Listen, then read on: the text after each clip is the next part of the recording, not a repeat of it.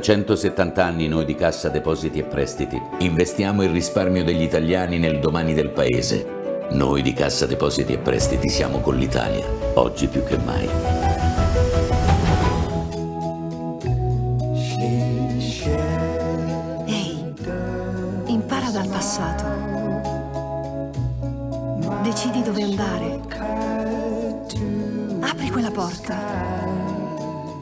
Accendi il tuo motore. Allaccia la cintura. Stringiti al volante. E vieni via con me.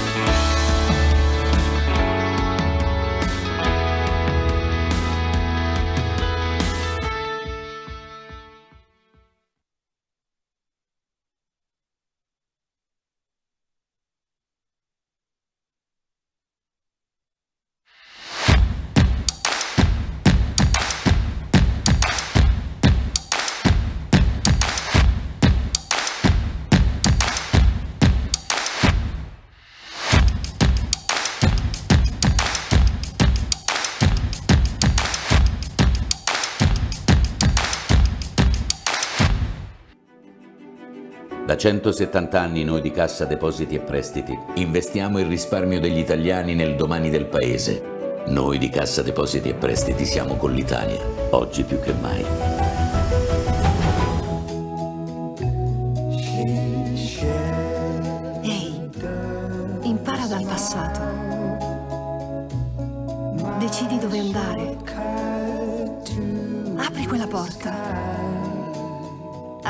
Tuo motore. Allaccia la cintura. Stringiti al volante. E vieni via con me.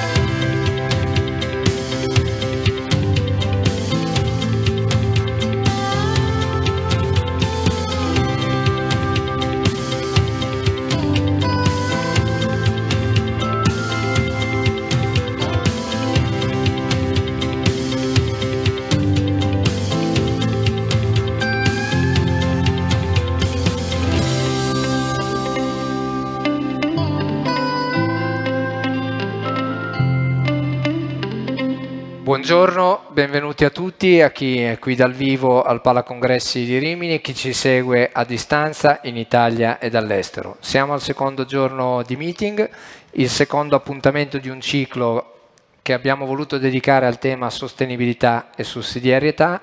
Continueremo fino alla fine della settimana, sempre con degli appuntamenti quotidiani. Oggi lo facciamo parlando di green economy, green welfare, quindi io andrei immediatamente a salutare i nostri ospiti, iniziando da Paolo Vestrucci, CEO di NIR, che ringrazio per essere qui con noi in presenza, come si dice. Saluto e ringrazio anche i nostri ospiti collegati, Marco Brun, CEO di Shell, spero sia collegato. Sì, lo vediamo collegato, buongiorno. Saluto Massimo Bruno, responsabile sostenibilità buongiorno. e affari istituzionali di Enel, buongiorno e saluto Ermete Realacci, presidente della Fondazione Simbola. Buongiorno Ermete. Buongiorno, buongiorno. Er Ermete oggi ci ha anche omaggiato di una maglietta abbinata al titolo dell'incontro, quindi ha vinto, ha vinto, il primo intervento del nostro, del nostro appuntamento. Io eh, veramente solo una battuta eh, per continuare quello che accennavo poco fa. Abbiamo voluto dedicare appunto una serie di appuntamenti sul tema sostenibilità e sussidiarietà. Non è la prima volta che se ne parla al meeting in questi anni, certamente sono temi che oggi ricorrono in maniera molto più frequente anche nel gergo e nella quotidianità dei discorsi di tutti noi vogliamo e abbiamo l'occasione di approfondire di che cosa si tratta, di che cosa si tratta perché il più delle volte sono temi magari fraintesi oppure temi presi solamente per alcuni aspetti. Ecco, io sono molto contento di avere gli ospiti che abbiamo con noi oggi in studio e collegati perché sono le persone, tra le persone più indicate a poter approfondire. Abbiamo appunto dato come titolo di questo appuntamento Green Economy e Green Welfare io vorrei dare eh, per primo la parola a Ermete Realacci, appunto presidente di Simbula. Ermete Realacci si è sempre occupato di questi temi, lo ha fatto in particolar modo con la Fondazione Simbola, con la quale assieme anche ad Union Camere ha steso diversi rapporti, diversi approfondimenti su questi temi, ma chiederei a lui, Ermete, appunto, di aiutarci a entrare nel merito di che cosa stiamo parlando, quali sono effettivamente gli ingredienti sul piatto e da, perdonatemi, ignorante in materia, eh, cercare di capire assieme a voi dal dialogo di oggi come è possibile passare dalle parole ai fatti di una certa attenzione anche al modo di vedere il mondo e la realtà. Noi abbiamo come titolo del meeting eh, privi di meraviglia, restiamo sordi al sublime, quindi sono certo che anche questi aspetti abbiano a che fare con quello di cui parliamo oggi. Ermete, grazie ancora per essere qua con noi. No, è sempre un piacere, non è la prima volta e penso non sarà l'ultima. E sì, assolutamente sì, perché poi eh, per venire al tema della meraviglia, una delle cose chiave è provare a guardare il mondo e il nostro paese in particolare con occhi diversi. Noi italiani siamo un po' criptodepressi, siamo capaci di vedere i nostri mali, ma non li affrontiamo, ma siamo incapaci di vedere i nostri punti di forza. Allora, quando si parla di green economy, poi dirò qualcosa di più specifico sull'energia, visto gli interlocutori, si parla in realtà di un qualcosa che è molto trasversale. Ecco, eh, tu citavi il lavoro che noi facciamo ogni anno con Union Camere sul censimento delle imprese italiane che si eh, occupano di green economy, è un censimento che ha dei risultati importanti, nel senso che grosso modo negli ultimi cinque anni eh, un terzo delle imprese manifatturiere italiane complessivamente sono 432.000 le imprese che hanno fatto investimenti che hanno a che fare con l'ambiente, cioè con eh, risparmio energetico, fonti rinnovabili, recupero dei materiali, innovazione di processo e di prodotto. Queste imprese sono già oggi una parte avanzata del nostro sistema di imprese, perché sono quelle che esportano di più, innovano di più, producono più posti di lavoro. Questa è una realtà spesso ignorata perché tante volte si pensa alla green economy come il sol dell'avvenire. In realtà, guardandoci intorno, la green economy, che in Italia significa anche innovazione, design, bellezza, è già oggi un punto di forza notevole delle nostre filiere produttive.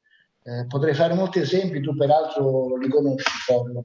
Eh, il, eh, ne, ne cito solo uno. Pochi sanno che il nostro paese è di gran lunga la superpotenza europea dell'economia circolare. Questo non per le leggi, eh, non per i decreti. In qualche caso abbiamo fatto provvedimenti avanzati, ma nella gran parte dei casi sono i cromosomi, è l'antropologia, è come è fatto il sistema produttivo italiano.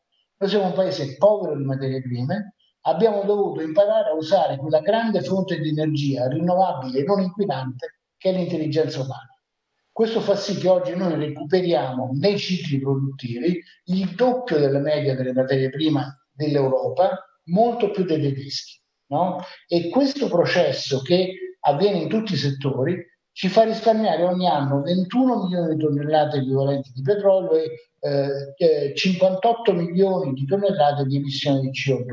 Quindi eh, è un pezzo già della nostra economia e attraversa tutti i settori. Se noi andiamo a vedere quello che accade eh, nel legno arredo, nelle ceramiche, nella meccatronica, nell'agricoltura, eh, scopriamo che l'Italia ha praticamente sempre performance più avanzate degli altri paesi.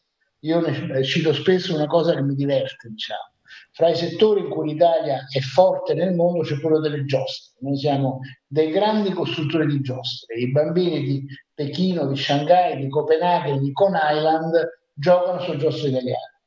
Le nostre giostre vincono, tra virgolette, perché sono più belle, eh, ma anche perché consumano meno energia. Non gliel'ha detto nessuno il costruttore di giostre. Hanno solo capito che si poteva fare, l'hanno fatto e anche attraverso questa strada noi siamo più competitivi, ad esempio, rispetto ai costruttori di giostre tedeschi.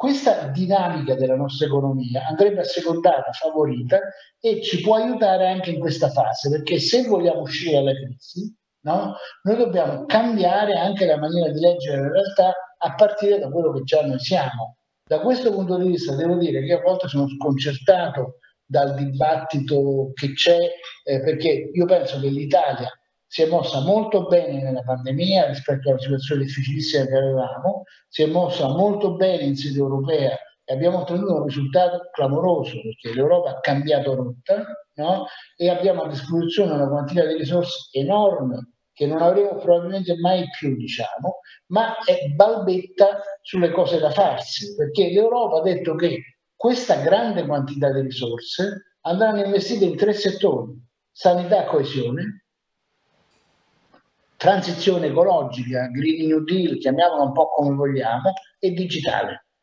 Beh, c'è poco di questo nei progetti di cui parliamo. Io l'altro giorno, lo dicevo anche ieri in un incontro proprio al meeting, sono allibito quando ho visto che il ministro De Micheli ha detto che invierà il progetto del tunnel sotto lo stretto eh, a Recovery Fund, ma l'ha pagata RUT, mi verrebbe da dire, perché quel progetto non c'entra nulla con le direttive europee e non ha nessuna possibilità di andare in porto perché è un progetto che richiederà tanti anni, mentre noi quei soldi dobbiamo investirli da subito. Investire da subito, e dico qualcosa sull'energia, in tutti i settori, perché appunto eh, usare bene l'energia è un fattore competitivo in tutti i settori, ma in particolar modo nel campo dell'energia. Qui anche noi abbiamo dei punti di forza e dei punti da cambiare. Io considero l'Enel un punto di forza del paese. L'Enel ha cambiato moltissimo rotta negli ultimi anni no? e oggi è, è, un mercato molto frammentato, però è il più grande produttore di fonti rinnovabili del mondo no? eh, e ha assunto l'obiettivo di azzerare, di lanciare le emissioni CO2 entro il 2050, che è l'obiettivo che si è data anche l'Europa. È un obiettivo difficile per un'azienda energetica, ovviamente lo è per la Shell ancora più che per l'Enel, però quella è la strada in cui andare. So che la Shell ha preso degli impegni, credo, di, di installare eh, 50.000 megawatt di fonti rinnovabili entro il 2030 e di ridurre l'estrazione del 40%, però insomma la direzione in cui andare è quella, sapendo che anche qui c'è un mondo in movimento, nulla è facile, nulla è regalato, ma voglio fare solo due esempi. Uno che conosci, uno lo conosci bene anche tu, lo tante volte. Pensiamo al nucleare, no? Eh, noi abbiamo passato anni con la classe dirigente italiana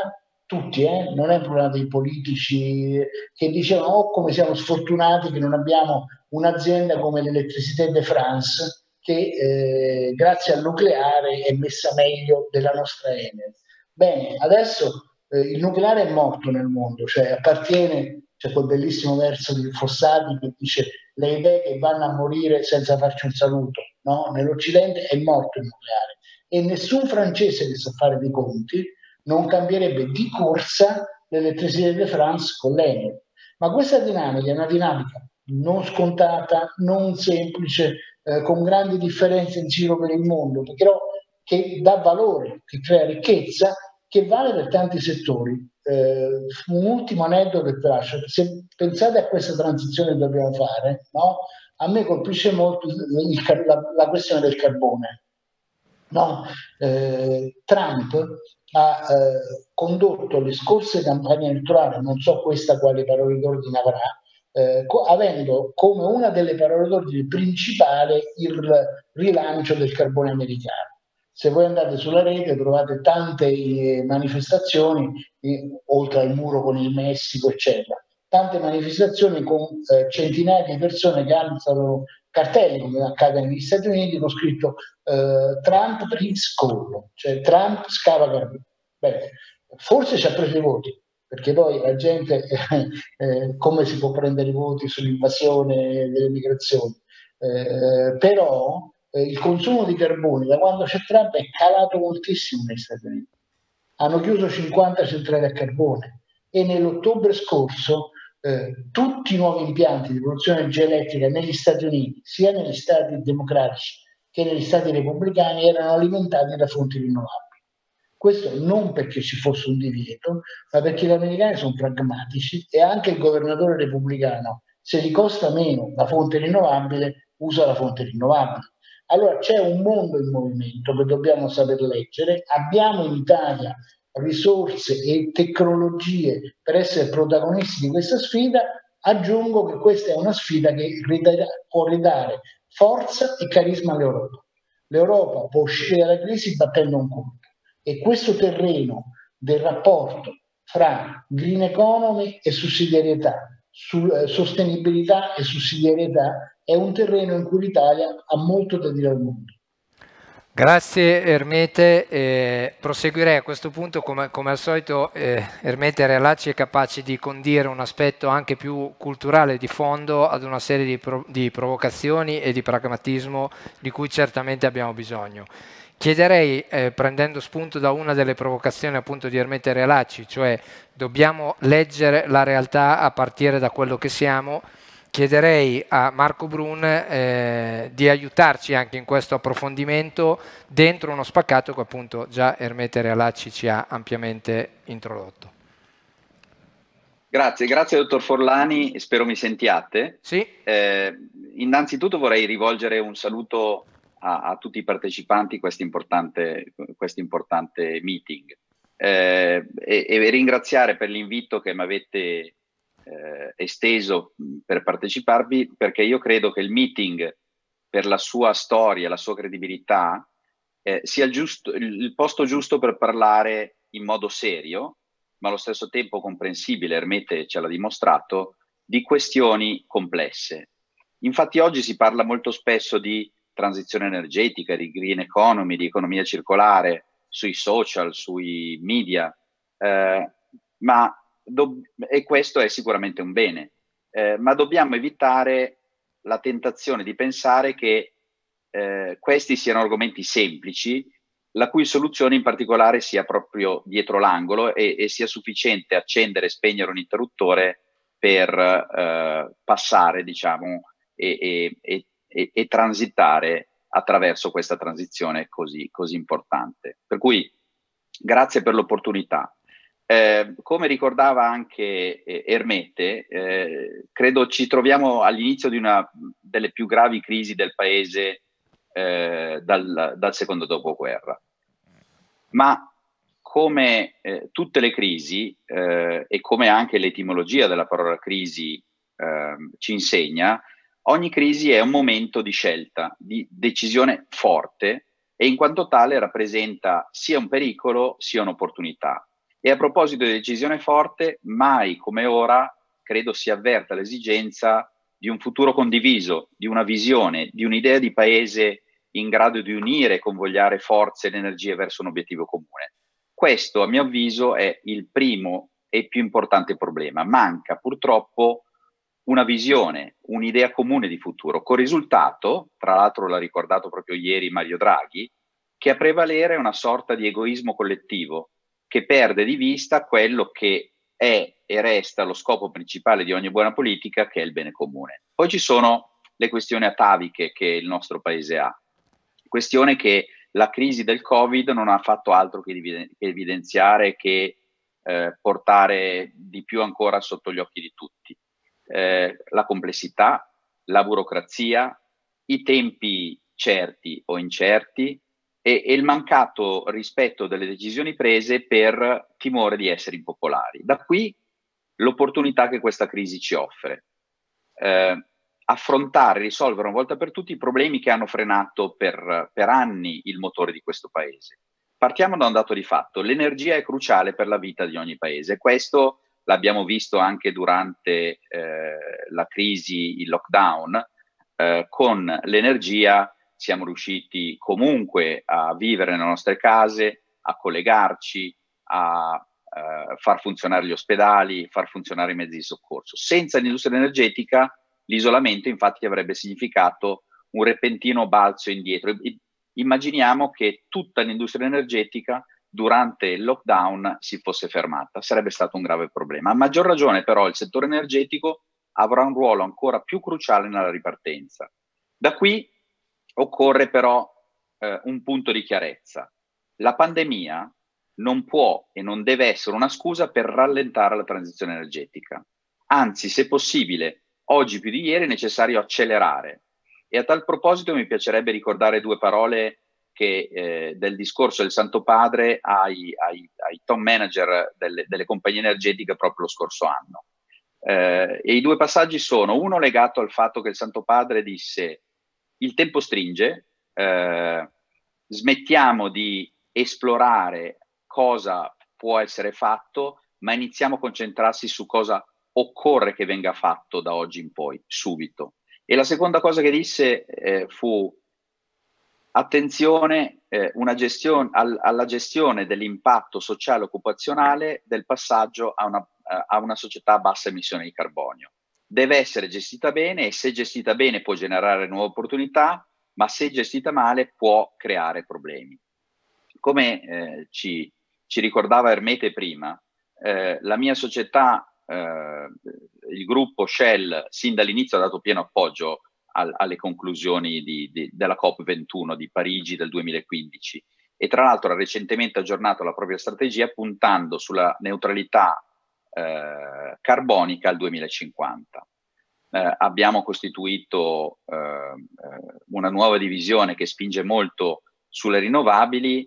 Eh, in Italia abbiamo fatto eh, due acquisizioni importanti, giusto per darvi un'idea, siamo uh, tra i leader uh, del mercato delle, delle, colonnine di ricarica, abbiamo già oltre 170.000 punti di ricarica in Europa, uh, siamo attivi nell'accumulo domestico e nella produzione, nella produzione fotovoltaica. però venendo alla situazione italiana, pur, purtroppo c'è un però. dobbiamo, siccome il settore energetico è uno dei pochi settori in grado eh, di, di, coniugare ingenti investimenti, creazione di posti di lavoro, eh, ricerca, sviluppo, indotto, eh, è indispensabile assicurare un rilancio del comparto che è in pesante sofferenza, il che significa eh, spingere sulla realizzazione e l'ammodernamento di, delle infrastrutture energetiche che sono necessarie alla, alla produzione, trasformazione tras- e trasmissione o distribuzione dell'energia. Un recente studio di Confindustria Energia ha quantificato in oltre 110 miliardi gli investimenti che eh, le società energetiche possono mettere in campo in fretta, ma purtroppo oggi una grande opera in Italia, cioè un'opera eh, che prevede un investimento superiore ai 100 milioni di euro, impiega in media quasi 16 anni per vedere la luce, di cui purtroppo 8 anni sono dovuti a inerzia, a inerzia burocratica. Per cui è urgentissimo semplificare i processi autorizzativi, altrimenti gli investimenti non si riescono a fare. Faccio un esempio concreto. Piano energia clima prevede di portare capacità fotovolta- la capacità fotovoltaica del paese da 20 a 50 gigawatt al 2030, quindi un aumento di 30 gigawatt. Ovvio eh, che per un balzo di questo tipo non, non, non sono sufficienti i pannelli fotovoltaici sui tetti, ma servono anche e soprattutto grandi, grandi impianti a terra. Ma di questo passo, secondo una nostra stima, al 2030 avremo non più di 6 gigawatt aggiuntivi installati invece dei 30, dei 30 gigawatt indicati nel piano nazionale. A mio avviso, e, e qua mi, mi avvio alle conclusioni, i problemi che abbiamo davanti richiedono il superamento di un, un, una visione, eh, diciamo, tradizionale, regolatorio legislativo. Ci vuole troppo tempo a cambiare le leggi e i regolamenti in Italia. Quel che serve è una rivoluzione, è uno shock o il paese rischia di avviare, di, di, di, di instradarsi su un, un, una crisi eh, non a V, a U, a W, a L come, come è stata definita, come è stata ipotizzata, ma una crisi a tubo, cioè senza fondo e senza punto di rimbalzo. Ma per attuare una cura shock eh, con riforme legislative ci vogliono anni. Abbiamo però un esempio, un esempio sotto gli occhi di tutti di cui abbiamo parlato sia eh, nelle nostre case che, eh, eh che, che, con gli amici o, o, o sui media, eh, ed è l'esempio del Ponte Morandi, il commissariamento del Ponte Morandi. Un esempio che dimostra il livello di efficienza che possiamo raggiungere. La metodologia di lavoro in un'emergenza deve essere quella. Estendiamo questa esperienza ad altri settori chiavi. Eh, altri settori chiavi. Penso alle energie rinnovabili, per esempio, abbiamo bisogno di farle, abbiamo bisogno di qualcuno che ci aiuti a farle, al 5G o ai porti italiani che possono aiutare il paese a risollevarsi e portiamo avanti poi nel contempo le riforme regolatorie legislative che sono utili, che saranno necessarie, ma, ripeto e concludo, non possiamo aspettare, è tempo di agire. Grazie Torniamo a questo punto in studio perché mi sembra che gli ingredienti siano davvero già tanti. Alcune parole chiave che tra le tante ho tratto eh, sono sicuramente la parola visione, la parola prospettiva, la parola procedure, l'accenno anche finale riguardo al fatto della capacità di mettere a terra dei progetti e quindi tante volte la facile deriva del commissariamento per riuscire ad arrivare al dunque. Vestrucci si occupa con la sua società di ingegneria appunto di tanti di questi aspetti. Quindi avrei piacere che continuasse anche lui, lo ringrazio nuovamente per essere qui in questo dialogo. Grazie a lei, dottor Forlani. Eh, sì, vorrei proprio partire dall'esperienza della società di ingegneria che ho contribuito a fondare, di cui sono responsabile, Niri Ingegneria, che è una società di consulenza tecnica sul tema della sostenibilità e dell'ingegneria dei sistemi, quindi su temi abbastanza inerenti, direttamente inerenti agli argomenti che stiamo trattando e vorrei usare la nostra esperienza anche per uscire dal pericolo della retorica, eh, tentando di comunicare come è cambiato il nostro lavoro nel corso degli anni. Noi siamo partiti negli anni 70 dove la parola ambiente praticamente non era usata, si parlava di inquinamento e vigeva l'approccio cosiddetto comando e controllo, cioè tento di normare il più possibile lo scarico, l'emissione, l'uso del suolo, eccetera, eccetera, e di controllare il rispetto di questi limiti. Siamo partiti da questa impostazione molto riduttiva della tematica ambientale. Eh, negli anni Ottanta però si è sviluppato sempre di più un approccio eh, più allargato, meno settoriale, meno specifico, eh, con l'ingresso delle direttive europee per esempio quella sulla valutazione di impatto ambientale o sull'industria a rischio di incidenti rilevanti, la cosiddetta direttiva Seveso e altri procedimenti di questo genere, si è allargato la tematica eh, dell'inquinamento, essenzialmente dell'inquinamento, alla tematica ambientale. Compare la parola ambiente e la parola ambiente compare tentando di allargare, di considerare più fattori. La direttiva sulla valutazione di impatto ambientale porta diversi stakeholders, diremmo oggi, allora non si usava questo termine, a partecipare al processo decisionale, non ci sono solo più degli aspetti squisitamente tecnici o delle logiche comando e controllo, ma c'è un tentativo di un'assunzione di responsabilità più globale nei confronti della tematica ambientale. Passando, il passaggio successivo è quello dello sviluppo sostenibile. Alla fine degli anni 80 e poi con gli anni 90 si giunge a questa consapevolezza, ehm, questo approfondimento importante per cui la tematica ambientale viene vista come una realtà di sistema dove tutti gli aspetti ehm, scariche, emissioni, quello che si vuole, eh, vengono mantenuti certamente ma messi in relazione in un approccio più globale, più significativo. È di lì che parte il grande sviluppo eh, che si ha poi con eh, la conferenza di Rio, con Kyoto, con le varie COP, è stata citata quella di Parigi, ce ne sono state 25, cioè eh, parte una, una diffusione della tematica a livello mondiale veramente importantissima.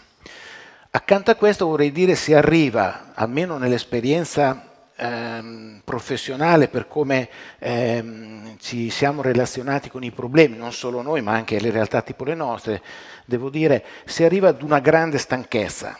Eh, fino tuttora domina eh, una grande stanchezza negli eh, impegni che si assumono, che poi eh, si sa dall'inizio che sarà difficile mantenere, eh, uno scontro molto rigido tra negazionisti e allarmisti, eh, si giunge ad una rigidità eh, di stallo, nonostante questa grande esplosione e interesse, diffusione di interesse sul tema della sostenibilità. E voglio leggere una, una, una, voglio citare una frase del, di, un recente articolo del Cardinal Scola, scritto durante la pandemia su Oasis, eh, si riferisce al, al quinto anniversario della pubblicazione della Laudato Si, che fotografa bene, a mio parere, questa situazione che chiamo di stanchezza. Dice, da una parte la posizione più diffusa, da una parte c'è la posizione più diffusa che è quella del dominio,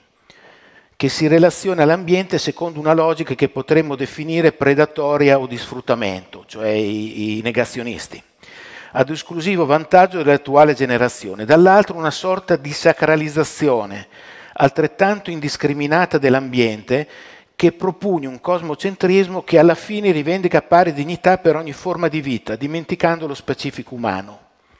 Solo superando queste opposte posizioni l'uomo può pensare ad un rapporto con il pianeta responsabile e capace di cura. Ecco, queste due posizioni fotografano bene la stanchezza a cui accennavo prima, e dicono ehm, la situazione macroscopicamente reperibile, almeno nella mia esperienza, eh, nel, nella, nel mondo economico e nella società civile.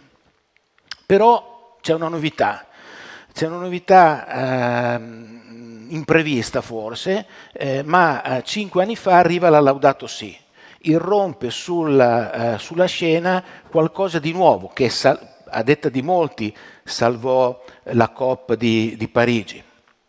Irrompe questa enciclica papale eh, che è una enciclica ambigua, potremmo dire, tra virgolette, perché ci si può chiedere è un documento politico, eh, è un insieme di tesi scientifiche, è aiuto aiuto un qualche cosa di religioso, è qualche cosa di assolutamente anomalo, imprevisto e non ideologico, eh, che, viene, eh, che fa il suo ingresso sul mondo della sostenibilità e ridà fiato alla sostenibilità. La vera novità, a mio parere, è che eh, la sostenibilità comincia a respirare di nuovo, ad, a, ad, avere qualche cosa che la fa uscire dallo stallo in cui eh, si stava arenando. Anche il nostro lavoro tecnico eh, eh, recepisce un beneficio di questo genere.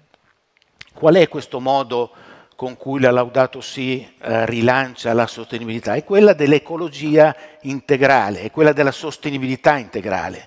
E cioè il Papa non fa un discorso eh, di tipo appunto ideologico, di contrapposizioni, ma eh, tenta di, di, sviluppare una proposta in cui tutto viene rimesso in relazione comincia ad essere riproposto come nell'esigenza di scoprire i nessi profondi che legano le varie cose. Eh, l'economia, eh, l'ambiente naturale, eh, la società, tre elementi che già eh, in diversi, diverse, diverse, fonti avevano, ehm, avevano messo sotto eh, sotto, sotto, il termine di sostenibilità, sostenibilità economica, sostenibilità sociale, sostenibilità ambientale. Il Papa aggiunge la persona come quarto elemento. Tutti questi eh, fattori costituiscono degli elementi tra i quali occorre necessario ricostruire i nessi, riscoprire i legami, riapprofondire ciò che rende l'uno in funzione dell'altro.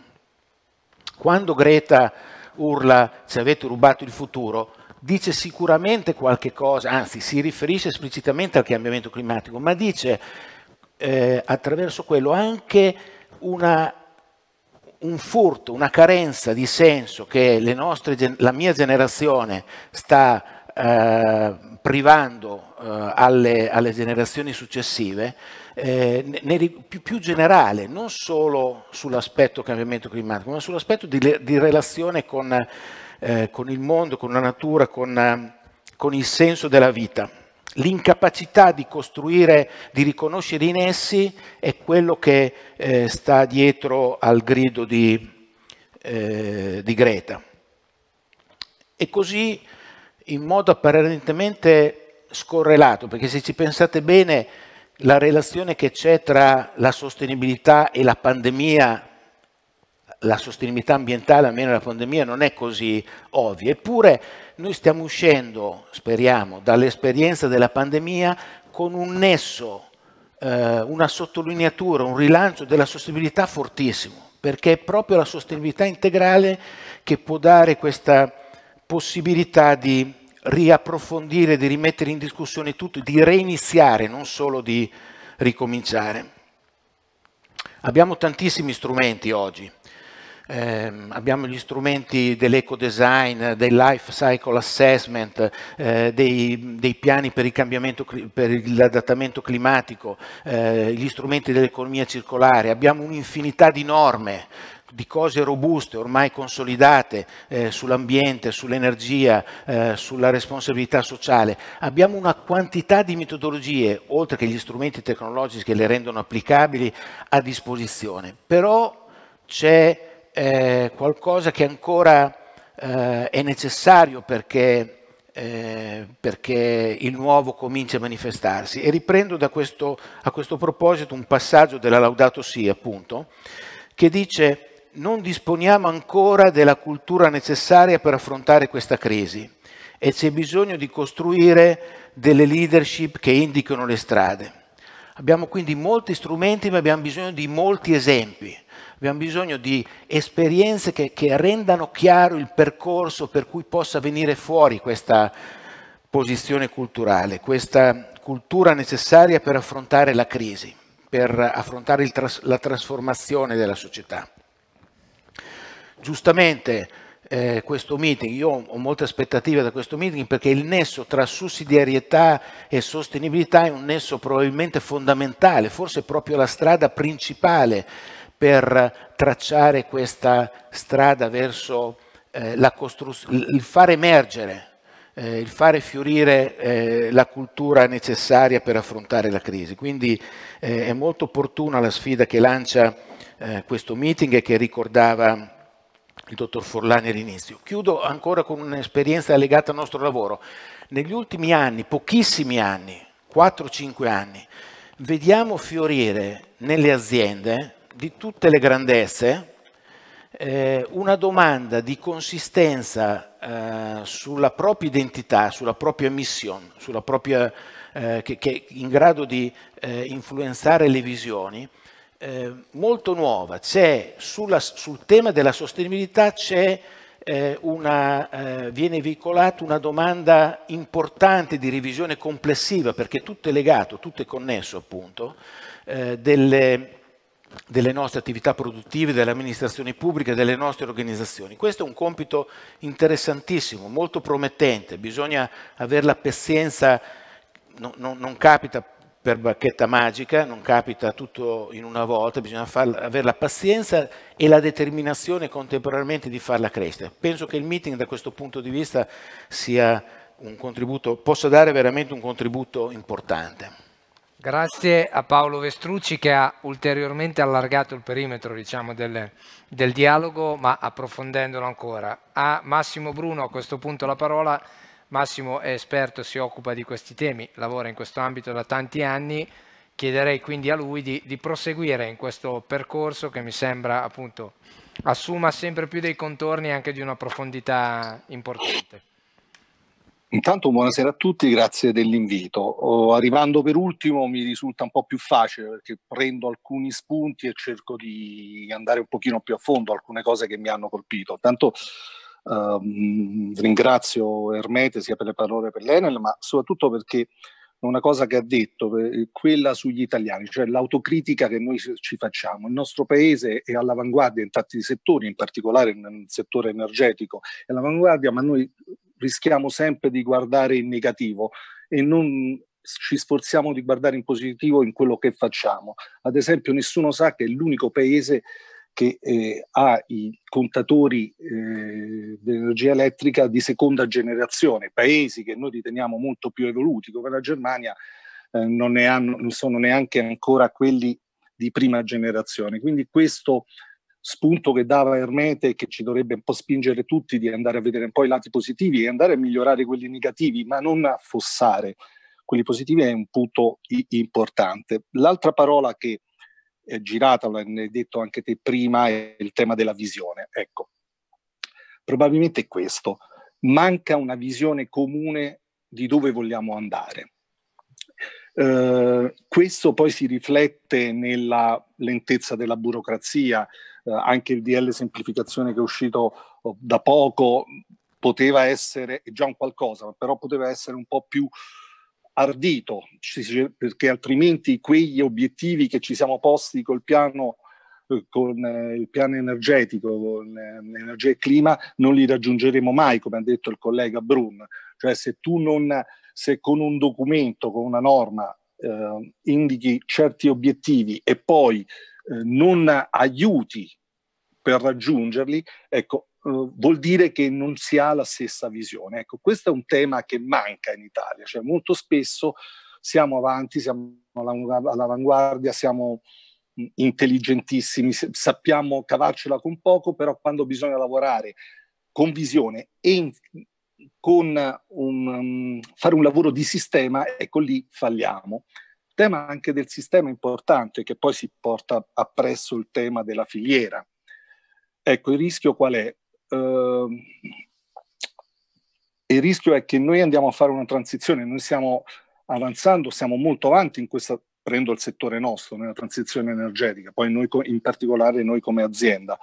Però dobbiamo anche renderci conto che questa transizione, se non accompagnata da altre azioni che non possiamo fare noi, ma che deve fare il sistema, che deve fare le istituzioni, che devono fare altri eh, accanto a noi, rischia di creare quello squilibrio sociale economico e che poi ehm, potrebbe eh, non determinare la, tra- l- l'effettivo tra- trasformazione, perché è chiaro come faceva l'esempio giustamente eh, Ermete prima di Trump. Trump perché ha avuto vita facile? Andavi dai minatori del Minnesota, dici guarda che volete, non volete più carbone, volete rinnovabili, voi non mangerete, sarete senza mangiare né voi né la famiglia, è chiaro che quelli pigliano e votano uh, Trump, poi l'avranno votato anche per altri motivi. E con la stessa cosa è difficile, noi troviamo molta difficoltà anche nel, nella trasformazione della mobilità elettrica, è difficile andare in una filiera italiana che è molto importante importante come quella della costruzione di automotive, dell'automotive, del settore dell'automotive e dire vabbè adesso si Abbiamo qualche piccolo problema tecnico che ci auguriamo di poter risolvere rapidamente. Intanto, intanto che Massimo Bruno si ricollega, io ne approfitto per eh, introdurre anche una domanda che è arrivata, poi appena Massimo torna con noi, continueremo il dialogo. È arrivata una domanda nella chat che abbiamo tenuto aperto su YouTube in questo momento ed è una domanda che eh, in qualche modo mm, anch'io condivido e quindi ho piacere di poterla fare ai nostri ospiti. La domanda è che cosa suggeriscono i nostri ospiti, appunto i nostri interlocutori, come azioni per favorire un'educazione ad una vera green economy e non appunto un avanzamento di tante volte un fanatismo verde su questi temi. Il valore dell'educazione è emerso anche ieri nell'intervento appunto del, del professor Draghi, è un tema che certamente ha a che fare con l'esperienza del meeting e di tutti i dialoghi del meeting, quindi mi permetto di rivolgere a loro questa domanda che arriva da chi ci sta seguendo da casa. Lo faccio rompendo un po' le righe rispetto all'ordine e magari partendo proprio da, eh, da Brun eh, rispetto a questo. Una battuta sì, finale esatto, così una, per i pochi minuti che ci sono rimasti, almeno possiamo approfittare anche su questo. È una, è una, bellissima cosa perché ci riflettevo proprio ieri. Io eh, ho la fortuna di essere al mare con la famiglia eh, e mh, mantenendo le distanze sentivo una discussione che, che stava avvenendo proprio non lontano, non lontano da voi, da, da noi, tra, tra due persone, e questa persona diceva all'altra che a settembre, grazie al 110%, lui mette, perché lui è eh, è a favore della transizione energetica, a favore dell'energia verde, metterà i pannelli solari sul tetto, metterà gli accumuli. Eh, nel frattempo che, che, che, che, parlava in questo modo, stava fumando la sigaretta, cosa ha fatto? Ha buttato la sigaretta sulla spiaggia e, e, e lì l'ha lasciata. Ora, eh, proprio questo mi dà modo di dire, eh, se non capiamo, eh, e, e eventi come questo sono sicuramente d'aiuto, se non capiamo cosa significa eh, fare il nostro dovere da, da, per, per, proteggere il bene comune, che deve essere il primo comandamento uh, in, in, in, questa direzione. No, no, non si può parlare di transizione energetica senza pensare alla protezione del bene comune. Eh, la natura è di tutti, il mondo è di tutti e sarà dei nostri figli e sarà dei figli dei nostri figli. Se non eh, ci impegniamo per capire quali sono le implicazioni, per capire che dovremo tutti cambiare eh, abitudini, per capire che le aziende dovranno profondamente trasformarsi, per capire che ci saranno dei costi da affrontare e per capire che dobbiamo, per così dire, aiutare, aiutarci l'un l'altro. Uh, io poi sono andato a questo signore e gli ho detto, guardi, eh, faccia la cortesia di riprendere la sigaretta che ha buttato in spiaggia perché è veramente, è veramente brutto. Ecco, se tutti facessimo uh, la nostra parte, un pezzettino tutti i giorni, credo che uh, l'educazione diverrebbe, uh, come dire, un, un, un, una condizione naturale perché tutti dovremmo capire quello che, che deve essere fatto. Grazie Ermete, a questo punto a te la medesima domanda. Guarda, io penso che molte cose sono cambiate, che bisogna partire dalla realtà e poi ognuno deve fare il suo mestiere. Io per esempio mi auguro che continui la spinta della generazione greca, chiamiamola così, ma io ho sempre sostenuto che eh, ha bisogno di risposte, non di carezze. Cioè non, non è che gridare alla fine del mondo genera un processo di cambiamento No? E, e, le risposte devono venire da chi è, è, in grado in qualche maniera di metterle anche in campo, perché a volte viene anche presa un po' in giro Greta. Eh? Eh, la, è venuta eh, a fare un solenne discorso al Senato, ha parlato eh, tanta gente e quella settimana il Senato ha votato contro una risoluzione eh, sulla, sugli impegni sui cambiamenti climatici. Quindi, per capirci, eh, evitiamo di fare eh, queste cose. Eh, sono d'accordo con quello che, che diceva Vestrucci sull'importanza della Rossi anche rispetto alla COP21 di Parigi. Io c'ero peraltro e, io penso che la Rossi sia eh, forse la più lucida analisi economica di quello che è accaduto dopo il 2008, anche come ipotesi di soluzione. Queste soluzioni secondo me richiedono anche due fattori. Uno, la responsabilità noi siamo abituati a cercare sempre qualcuno a cui dare la colpa, no? Eh, e se possiamo dire che è colpa di qualcun altro abbiamo fatto il nostro mestiere, no? Eh, c'è un problema, partendo da quello che siamo, che ripeto, eh, io non vedo negativamente, ecco, io penso che noi abbiamo tante cose in positivo, ne parlavamo l'altro giorno con Vittadini e, e, e, è un tema chiaro, caro a Zamagni. Se entra in campo un ragionamento su un'economia a misura d'uomo, l'Italia ha molto da dire questo punto di vista. Però c'è bisogno dell'esercizio della responsabilità, che è una componente della sussidiarietà anche, perché se poi bisogna fare le fonti rinnovabili e tutti eh, si oppongono a fare le fonti rinnovabili anche con argomentazioni astruse, adesso voglio fare un esempio che riguarda voi che siete a Rimini, no? Ma ti pare possibile, Emanuele, che sia sorto un fronte ampissimo contro un parco eolico a largo eh, della costa eh, della Romagna? Ma insomma, ragazzi, siamo seri, eh? nel senso che sono cose ridicole, cioè, eh, bisogna farli bene, bisogna farli belli, ma bisogna farli. Cioè, voi pensate che una sovrintendenza ha bloccato un parco eolico davanti all'Ilva per ragioni paesaggistiche? mi chiedo diciamo, se c'è uno dotato di raziocinio che può pensare che il problema eh, paesaggistico lì è rappresentato dal parco eolico che fai a mare. Quindi c'è bisogno da un lato di questo esercizio della responsabilità che ha bisogno poi di nuovo, lo diceva Bruno, lo diceva Bruno, di una visione comune. Io ho in mente una cosa, no? eh, come schema di gioco, diciamo, che poi metterlo in pratica non è semplice. È la vicenda del discorso sulla Luna di Kennedy. No? Kennedy nel 62, un po' più di 50 anni fa, eh, no, eh, più di 50 anni fa, poi eh, nel 69 l'uomo è sceso sulla Luna, è arrivato sulla Luna, fece un discorso che molti consideravano un po' da stroffone, no? Eh, porterò un americano sulla Luna entro questo decennio, no? Eh, di nuovo, per citare una canzone, molti pensavano sposo impazzito oppure bevuto, nel senso che eh, sembrava una cosa da politico italiano, ecco, mettiamola un po' così e invece ce l'hanno fatta anche prima della fine del decennio perché sono stati investiti risorse economiche, risorse tecnologiche, ma perché è entrato in campo anche l'orgoglio e il carattere degli americani. Questa partita che è necessaria, diciamo, per il nostro futuro e che è necessaria anche per uscire dalla crisi del Covid in avanti, eh, può essere affrontata se, diciamo, noi eh, capiamo che è anche la partita che dà forza all'Europa e all'Italia. Perché se invece la vediamo come un dover essere che deve essere garantito da altri, non ce la possiamo fare. Io penso che questa visione è una visione mobilitante, però va presentata così, come una grande sfida a cui tutti devono partecipare.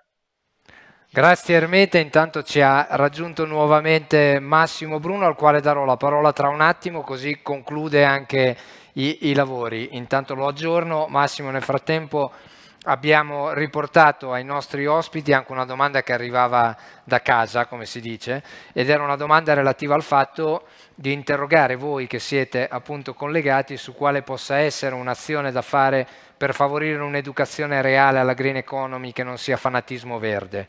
Eh, Brun e Ermete hanno già hanno già risposto a questo, chiederei appunto a Vestrucci una battuta finale su questo per ridare la parola a Massimo e concludere il suo ragionamento con dentro anche questa provocazione. Ma, fondamentalmente condivido molto quello che hanno detto i due predecessori, in particolare eh, alcuni accenni di Ermete e Realacci. Eh, per restringere proprio l'aspetto eh, educazione alla green economy all'aspetto aziendale per me è, è pensabile, sono pensabili una serie di interventi dal top management delle aziende fino a, al bottom, fino al livello dei lavoratori eh, più di base, è possibile pensare eh, degli interventi che comincino a proporre le idee della sostenibilità integrale e a farli calare nella realtà nella realtà dell'azienda, il top management per la vision, la mission, eccetera, l'ufficio tecnico per l'eco-design eh, e così via, fino a chi fa manutenzione, a chi fa... Cioè, è, è, abbiamo tantissimi strumenti per, per, poter fare degli interventi e trasmettere dei metodi e degli strumenti. L'importante è che ci sia un processo, a mio parere, eh, top down, che cominci da, una, da un convincimento e da una partecipazione ad un'adesione convinta del, del, vertice aziendale. Questo è un problema educativo, questo effettivamente è un problema educativo. Grazie, allora la parola conclusiva a Massimo così che possa concludere anche il ragionamento che stava facendo con dentro anche questo ingrediente. Audio, penso che... Eccolo! Perfetto. Mi sentite? Sentiamo, sì, perfetto. Okay, grazie, scusatemi per l'interruzione.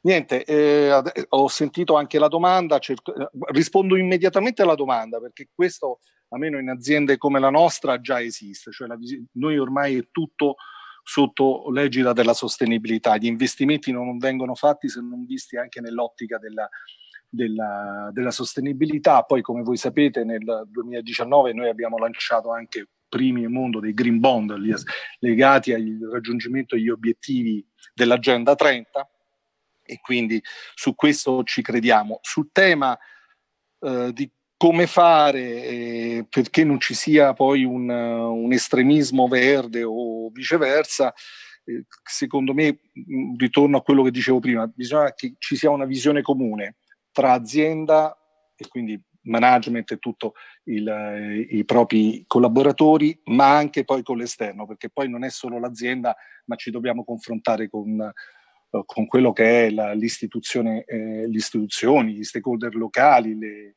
le comunità locali. Ecco, non sempre eh, il concetto nostro di sostenibilità corrisponde a quello che hanno anche loro. Ecco, in questo un pochino forse è un po' colpa anche nostra, sta anche a noi spiegare meglio e non eh, cercare, eh, questo lo dico a tutti i colleghi, di abusare un po' della parola sostenibilità, perché non vorrei che diventasse, io vengo anch'io dal settore eh, energetico petrolifero, quando uscì la benzina verde tutti pensavano che era verde, ma perché era pulita, no, era verde perché era colorata in verde, ma il piombo era lo stesso. Ecco, di non usare un po' la parola sostenibilità in modo errato, ecco, dare contenuti, e questo spetta anche a noi, a noi divulgatori, a noi manager, a gente come Ermete, politici come Ermete, a dare il giusto significato alla parola sostenibilità e ci devono aiutare eh, persone come Ermete anche a dialogare con eh, i stakeholders nostri di riferimento, dalle associazioni ambientaliste ai comuni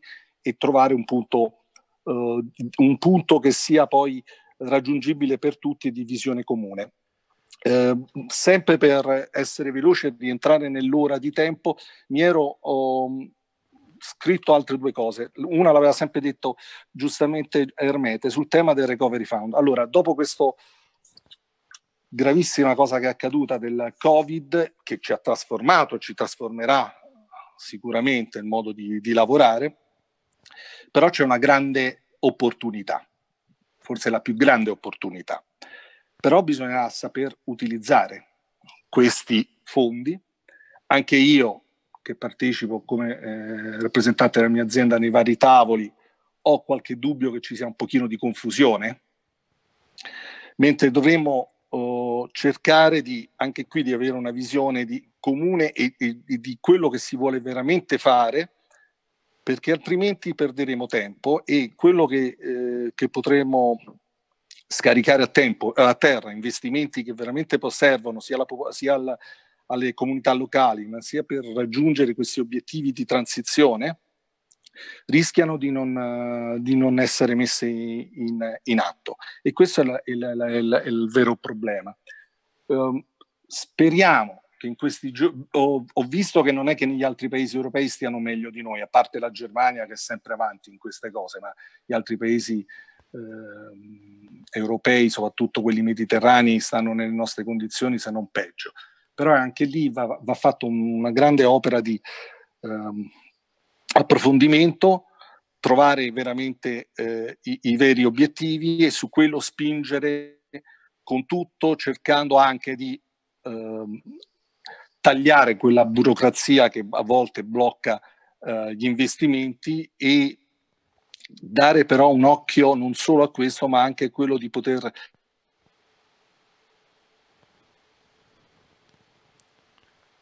Speriamo ci sta tenendo sulle spine la conclusione dell'intervento di Massimo. Speriamo funzioni. Aspettiamo solo qualche istante. No, temo, temo sia caduta. E purtroppo magari avremo occasione, anzi sicuramente avremo occasione di tornare su questo grazie anche alla tecnologia che oggi ci dà la possibilità di non interrompere mai un dialogo. E quello che faremo anche nei prossimi giorni perché continueremo, come dicevo all'inizio di questo nostro appuntamento, anche nelle prossime giornate del meeting che, come ricordo, hanno avuto l'abbrivio proprio nella giornata di ieri e si concluderanno domenica. Eh, le mie non sono conclusioni perché appunto i temi aperti sono tanti, sono profondi e sono estremamente interessanti, anzi mi piacerebbe poter poi tornare anche con i nostri ospiti. Anche a valle del meeting, lo potremo fare anche tra un meeting e l'altro, cioè avremo sicuramente la possibilità di poter continuare ad approfondire quello che è emerso, che ripeto mi sembra particolarmente toccante e sia particolarmente centrato anche rispetto alle provocazioni del titolo del meeting di quest'anno.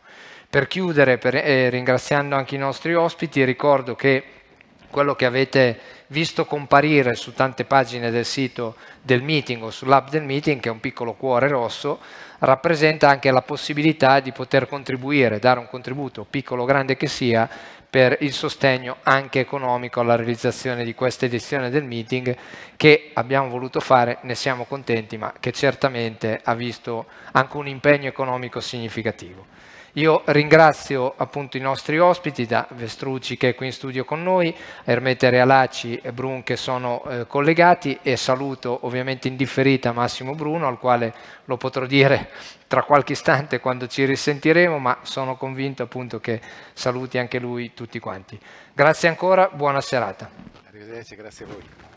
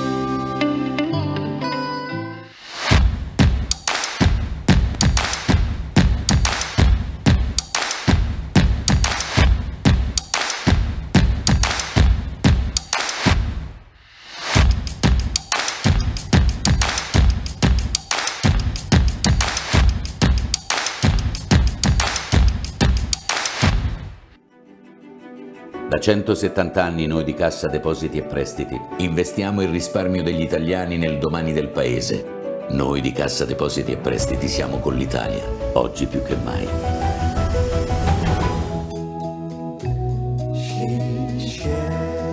Ehi, impara dal passato.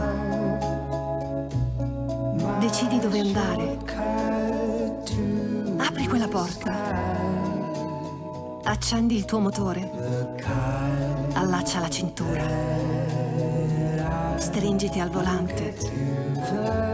E vieni via con me.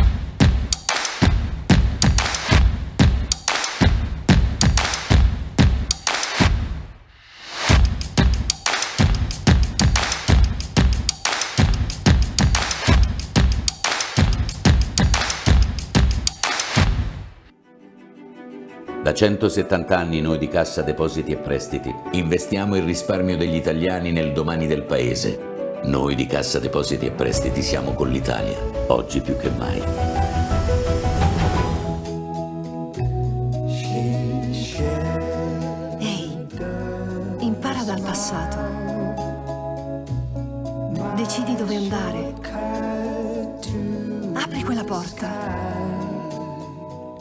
Il tuo motore.